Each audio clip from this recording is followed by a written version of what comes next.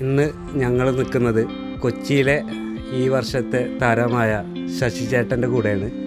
ഈ വർഷം അൺലിമിറ്റഡിൽ പത്തൊമ്പത് പതിനേഴ് ടൈം ഇട്ടതിന് ശേഷം പ്രാവ് ഇറങ്ങാതെ മുപ്പത് മണിക്കൂറോളം പറപ്പിച്ച ശശി ചേട്ടന്റെ കൂടെയാണുള്ളത് അപ്പോൾ ഇന്ന് നമുക്ക് ശശി ചേട്ടന്റെ വിശേഷങ്ങൾ അറിയാം.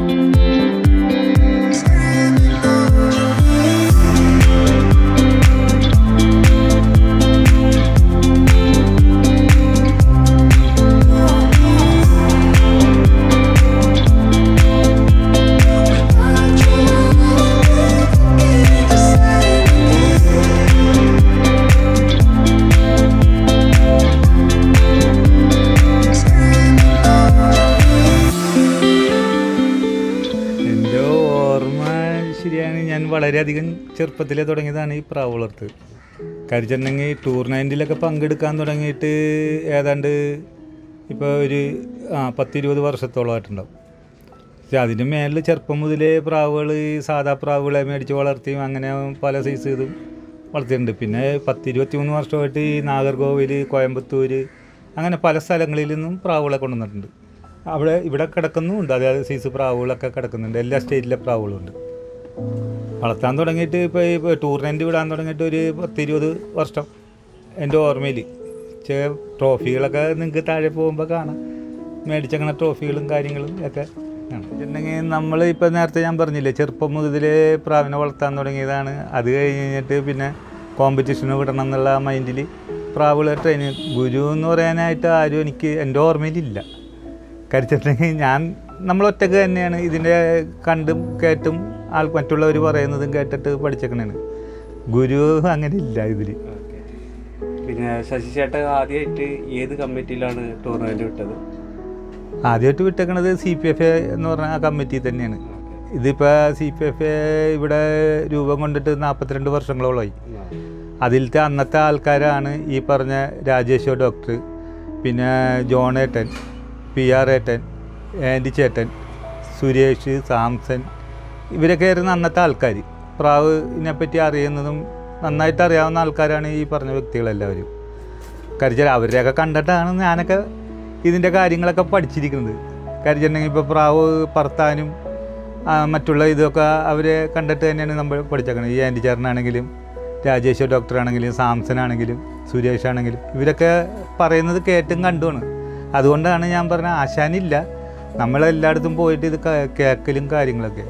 അങ്ങനെ എന്റെ ഇത് പഠിച്ചു പിന്നെ ഈ ഏകദേശം ഇരുപത് വർഷത്തോളമായല്ലോ ശശി. ടൂർണമെന്റ് വിടാൻ തുടങ്ങിയിട്ടല്ലോ?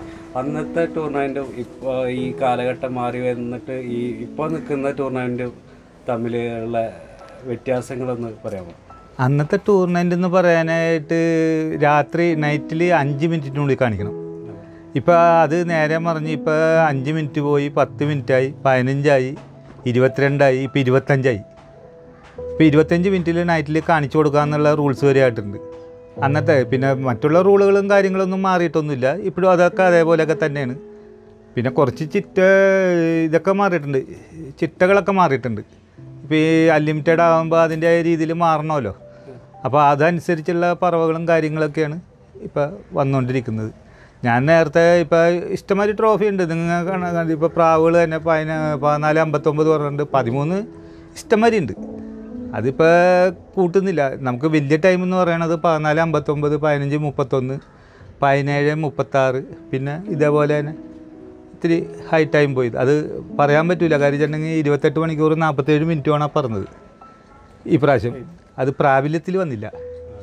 അതുകൊണ്ട് നമുക്കത് പറയാൻ പറ്റില്ല കാര്യം വെച്ചിട്ടുണ്ടെങ്കിൽ നമ്മൾ അതിന് പ്രൈസിന് അർഹതനാണെന്നുള്ളതൊന്നും പറയാൻ പറ്റില്ല അത് റൂൾ പ്രകാരം നമ്മളുടെ വീട്ടിൽ പ്രാവ് ഇറങ്ങിയാൽ മാത്രമേ അതിന് അംഗീകാരമുള്ളൂ. അല്ലാതെ നമുക്ക് അംഗീകാരം കൊടുക്കാൻ പറ്റില്ല. ചിലപ്പോൾ ഇപ്പം നമുക്കൊരു ട്രോഫിയും കാര്യങ്ങളും കേരള ബിജന്റെയിൽ തന്നിരുന്നു. എന്നാലും ഞാൻ പറയണതാണ് അത് അത് അവരുടെ സ്നേഹം കൊണ്ട് തന്നതാണ്.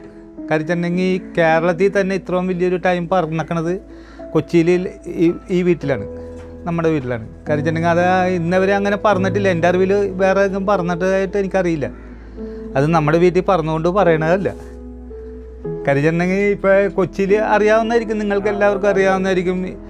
ലൈവ് പ- പത്തൊമ്പത് പതിനാറിന് വെട്ട് പറഞ്ഞിട്ട് പിന്നെ രണ്ട് മണിക്കൂറും കൂടി എംപയർ ഇരിക്കണം എന്നുള്ള റൂളുണ്ട് ആ രണ്ട് മണിക്കൂർ ഇരുന്ന് കഴിഞ്ഞിട്ട് പിന്നെയും പ്രാവ് കയറി പറഞ്ഞ് പ്രാവ് ഇറങ്ങുന്നില്ല.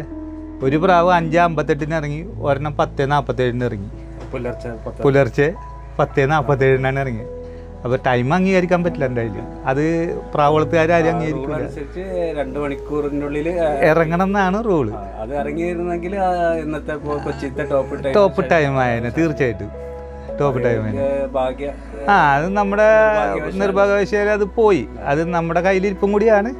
ഒന്ന് കരിച്ചിട്ടുണ്ടെങ്കിൽ പ്രാവ് ഇതിനു മുമ്പ് തന്നെ ഓൾറെഡി പത്ത് മുപ്പത്തഞ്ച് മണിക്കൂർ പറഞ്ഞേക്കണേന്ന് ഒരു പകലും ഒരു രാത്രിയും വീണ്ടും ഒരു പകലും പറന്നേക്കണ പ്രാവുകളാണത്. അപ്പോൾ ഇത്രയും ടൈമിൽ ഒരു വട്ടമല്ല അത് ഒരു വട്ടം ആണെന്നുണ്ടെങ്കിൽ ഭാഗ്യവശാൽ പറക്കണേന്ന് പറയാം. രണ്ട് വട്ടവും നമ്മൾ ലൈവ് കണ്ടതാണ്. മൂന്നാമത്തെ പ്രാവശ്യമാണ് നമ്മൾ ടൂർണമെന്റിന് വിടുന്നത്. ടൂർണമെന്റ് വിട്ടപ്പോഴും നമ്മളുടെ ഈ ശ്രദ്ധക്കുറവ് ആ സംഭവിച്ചത്. കരിച്ചിട്ടുണ്ടെങ്കിൽ നമ്മൾ വെട്ട് പറയാതെ ഇരിക്കണായിരുന്നെന്നുണ്ടെങ്കിൽ ആ പ്രാവ് നേരം വിളിക്കുന്നവരെയും പറഞ്ഞാൽ ടൈം കിട്ടുകയും ചെയ്തേനെ. പ്രാവിന്റെ പെർഫോമൻസ് മനസ്സിലാക്കിയിട്ട് നമ്മൾ ചെയ്യ കാര്യങ്ങൾ ചെയ്യായിരുന്നെങ്കിൽ ഇരുപത്തെട്ട് മണിക്കൂർ ഇന്ന് അതെ തീർച്ചയായിട്ടും ആ ടൈം കിട്ടിയാണ് നമുക്ക്. പിന്നെ ഇവിടെ നാഷണൽ ടൂർണമെന്റിൽ ഫസ്റ്റ് കൊച്ചിയിൽ പറപ്പിച്ച ഇതാണ് രാജ ഡോക്ടർ രാജേഷ്. രാജേഷ് ഡോക്ടറിനെ പറ്റിയിട്ട് ഒന്ന് ഡോക്ടർ കൊച്ചിയിൽ എന്ന് വെച്ചിട്ടുണ്ടെങ്കിൽ ആദ്യമേ പറത്തിയ ഒരു വ്യക്തിയാണ്. മറ്റേ നാഷണലിൽ പതിമൂന്ന് മുപ്പത്തി ആറ് മുപ്പത്തി ഏഴ് എന്തോ പറപ്പിച്ചിട്ടുണ്ട്.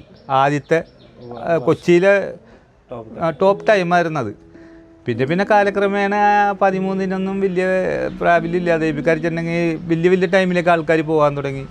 പിന്നെ നമ്മളിലേക്ക് ഇപ്പം നിങ്ങൾ നേരത്തെ പറഞ്ഞ പോലെ നമ്മളിലേക്ക് ഒരു ഗുരുവായിട്ട് കാണുന്നത് ഡോക്ടറിനെയൊക്കെ തന്നെയാണ്. കരിച്ചിട്ടുണ്ടെങ്കിൽ അവരെയൊക്കെ കണ്ടാണ് നമ്മൾ ഈ പഠിക്കണത്. കരിച്ചിട്ടുണ്ടെങ്കിൽ അവരുടെ പ്രാവർപ്പിക്കലും ട്രെയിനിങ്ങും അതേപോലെ തന്നെ പി ആർ ആട്ടനാണെങ്കിലും ഏറ്റവും കൂടുതൽ ഉറപ്പിച്ചിരിക്കുന്നത് രാജേഷ് തന്നെയാണ്. അന്നത്തെ കാലത്ത് എത്രയോ വർഷങ്ങൾക്ക് മുമ്പാണ് ആ, പുള്ളി മരിക്കാൻ നേരത്തെ ഞങ്ങളൊക്കെ തന്നെയായിരുന്നു കൂടെ ഉണ്ടായിരുന്നത്. കരിജൻ മരിച്ച് മരി മ- മരിപ്പിന് കൊണ്ടുപോകണതും കാര്യങ്ങളൊക്കെ നമ്മളൊക്കെ തന്നെയായിരുന്നു. അങ്ങേര് തന്നെയാണ് നമ്മളുടെ ഇതിൽ ഗുരുവായിട്ട് കാര്യിച്ചിട്ടുണ്ടെങ്കിൽ നല്ല ചാമ്പ്യനാണ് പ്രാവ് പറത്താൻ ഭയങ്കര കഴിവുള്ള ആളാണ് മറ്റേ മോട്ടി സാറിന്റെ ഒക്കെ കസിനാണ് അവർ ചേട്ടന്റെ മക്കളാ. അങ്ങനെ എന്തോ ബന്ധമൊക്കെ അപ്പം അങ്ങനെയൊക്കെ കണ്ടേക്കണം. മറ്റുള്ളവരിൽ നിന്ന് പഠിച്ചേക്കണം. അത് നമ്മൾ ആരുടെ അടുത്ത് ശിഷ്യപ്പെട്ടിട്ടില്ല ഇതിൽ അങ്ങനെയുള്ള കിട്ടിയില്ല ആ അവരെ കണ്ട് ഇങ്ങനെ പഠിക്കുക എന്നല്ലാതെ നമ്മളങ്ങനെ അവരായിട്ടുള്ള ഇത് വീട്ടിൽ പോയിട്ട് എന്താ ചെയ്യണ എന്നൊക്കെ ചോദിക്കുമ്പോഴാണ് അതിന്റെ ഒരു ശിഷ്യനാവണത്. പക്ഷേ നമ്മളിത് ദൂരെ നിന്നുള്ള കാഴ്ച മാത്രമേ ഉള്ളൂ. ആൾക്കാരെ ദൂരെ നിന്ന് കാണും കാണും. അയാളുടെ വീട്ടിൽ പറപ്പിക്കണ ദിവസങ്ങൾ വിടണതും ഇതൊക്കെ നമ്മൾ മനസ്സിൽ വെച്ച് കഴിഞ്ഞിട്ട് അത് നമ്മൾ പ്രാബല്യത്തിൽ കൊണ്ടുതന്നെ അത്രേ ഉള്ളൂ. പിന്നെ അതുപോലെ തന്നെ മുൻകാലഘട്ടത്തിലത്തെ പ്രാവുകളും ഇപ്പോൾ പറത്തുന്ന പ്രാവുകളും തമ്മിൽ എന്തെങ്കിലും വ്യത്യാസങ്ങൾ വന്നിട്ടുണ്ട്? മുമ്പത്തെ പ്രാവുകളും പ്രാവുകൾ പ്രാവുകൾ തന്നെയാണ്. പിന്നെ അന്നത്തെ കാലത്ത് എന്ന് പറയാനായിട്ട് പതിമൂന്ന് മണിക്കൂറോളം ഉള്ളൂ ഇവിടെ. നമ്മുടെ കൊച്ചിയെ സംബന്ധിച്ച് ഇപ്പോൾ ഈ നേരത്തെ പറഞ്ഞ പോലെ എനിക്ക് വലിയ അധികം ആൾക്കാരായിട്ടൊന്നും കണക്ഷൻ ഇല്ല ഇപ്പോഴാണ് ഇപ്പോൾ ഈ നമ്മുടെ ഈ ഇതേപോലെ റോയൽ പറവയും പിന്നെ ആകാശപ്പറവയും പിന്നെ കേരള പിജിനും ഇതൊക്കെ വന്നപ്പോൾ നമുക്ക് ഈ കേരളത്തിന്റെ അറ്റം തുടങ്ങി ഈ അറ്റം വരെയുള്ള ആൾക്കാരായിട്ടൊക്കെ കണക്ഷനായത് ഫോണിലൂടെ ആണെങ്കിലും മറ്റുള്ള രീതിയിലാണെങ്കിലും എങ്ങനെയാണെങ്കിലും ഇപ്പോൾ ബന്ധങ്ങൾ വന്നേക്കണത്. നേരത്തെ എന്ന് വെച്ചിട്ടുണ്ടെങ്കിൽ നമ്മൾ ഈ നമ്മുടെ ഈ ലൊക്കാലിറ്റിയിൽ മാത്രം അറിയപ്പെട്ട് അങ്ങനെ പറത്തി പോണേ. പിന്നെ പ്രാവുകൾ വ്യത്യാസം ഉണ്ടാകുന്ന ചോദിക്കാനായിട്ട് വ്യത്യാസങ്ങളുണ്ട്. പ്രാവുകൾ തമ്മിൽ കലർത്തിക്കൊണ്ട് വന്നേക്കണ പ പല ഇതുണ്ട്. ഇപ്പോൾ പതിമൂന്ന് വറക്കണതും ഓവർ പോണ പ്രാവുകളും ഇതുങ്ങളെ തമ്മിൽ ചേർത്തിട്ട് നമ്മ നമ്മുടെ അൺലിമിറ്റഡിലേക്ക് ആയിക്കൊണ്ടിരിക്കുന്നുണ്ട്.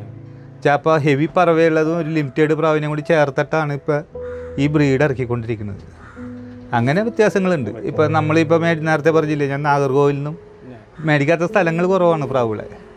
നമുക്ക് ആവശ്യമുള്ള പ്രാവുകളെ അതെ, അതെ. കളക്ട് ചെയ്ത്. നമ്മളെ അനുസരിച്ച് ആണ് ബ്രീഡ് ഇറക്കുന്നത്. അതെ അതെ അതെ അതെ. അപ്പോൾ അതാണ് ചോദിച്ചത്. ഇപ്പോഴത്തെ പറവയ്ക്ക് വേണ്ടിയിട്ട് പ്രാവിൽ വ്യത്യാസങ്ങൾ വരുത്തി. അതെ പ്രാവ് ഇപ്പോൾ ചെറിയ പറവ പറഞ്ഞ പ്രാവിനെയും വലിയ പറവ പറഞ്ഞതിനെയും കൂടി ചേർത്ത് അതിലുണ്ടാകുന്ന കുട്ടികളെയാണ് നമ്മൾ ഹൈപ്പർവേലേക്ക് എടുക്കുന്നത്. അതിൽ ചിലത് ബ്രീഡിങ് സെക്ഷനായി പോവും. ചിലത് പറക്കാൻ മാത്രം ജനിച്ചേക്കണതാവും. അങ്ങനെ പല ഇതുമുണ്ട് ചില കളറിൽ പറക്കും. അങ്ങനെ പല പല രീതിയിലും പ്രാവുകളിൽ ഇതുണ്ട്. ഇതിപ്പോൾ ഇതിപ്പോ മുൻകാലഘട്ടത്തിൽ ചെയ്ത ട്രെയിനിങ്ങിൽ നിന്ന് വ്യത്യസ്തമായിട്ട് ഇപ്പോൾ ഈ കാലഘട്ടത്തിൽ ചെയ്തു വരുന്നുണ്ട് തീർച്ചയായിട്ടും. നേരത്തെ ചെയ്തേക്കണ പോലത്തെ ട്രെയിനിങ് അല്ല ഇപ്പം ചെയ്തത്. കരിച്ചിട്ടുണ്ടെങ്കിൽ നേരത്തെ ഒരു പ്രാവിനെ പറത്തണം എന്ന് പറഞ്ഞിട്ടുണ്ടെങ്കിൽ ഇപ്പം ഇന്ന് പറവ കൊടുത്ത ആ പ്രാവിന് രണ്ട് ദിവസം റെസ്റ്റ് പിന്നത്തെ ദിവസം അതിനെ വാമ്പ്.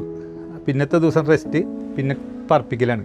അങ്ങനെ അങ്ങനെ പ്ര- പ്രാവിനെ പറവയറ്റി കൊണ്ടുവന്നത് നമ്മുടെ ഈ വർഷത്തെ എന്ന് പറയാനായിട്ട് ഞാനിപ്പോൾ വിട്ടക്കണ പ്രാവിന് നാല് ദിവസം റെസ്റ്റ് അഞ്ചാമത്തെ ദിവസമാണ് പ്രാവിന് പറഞ്ഞത് കരിച്ചിട്ടുണ്ടെങ്കിൽ അപ്പോൾ എന്തൊരു വ്യത്യാസങ്ങൾ വന്നേക്കണേ? കരിച്ചിട്ടുണ്ടെങ്കിൽ പ്രാവിന് വാമ്പ് കൊടുക്കണം എന്ന് പറഞ്ഞെങ്കിൽ വാമ്പ് പ്രാവ് വറക്കുന്നത് പതിനേഴ് മണിക്കൂർ പതിനെട്ട് മണിക്കൂറാണ് വാമ്പ് വറക്കണം. കരിച്ചിട്ടുണ്ടെങ്കിൽ പ്രാവ് ഇറങ്ങുന്നില്ല.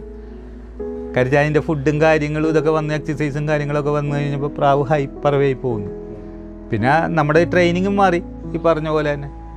ചേട്ടനെങ്കിൽ ഒരു ഫുൾ പറവ പറഞ്ഞ കാലത്ത് തുടങ്ങി വൈകുന്നേരം വരെ ഓടിയ പ്രാവിനെ നിർത്തിയിട്ട് നമ്മൾ വൈകുന്നേരം തുടങ്ങി ട്രെയിനിങ് തുടങ്ങണേ.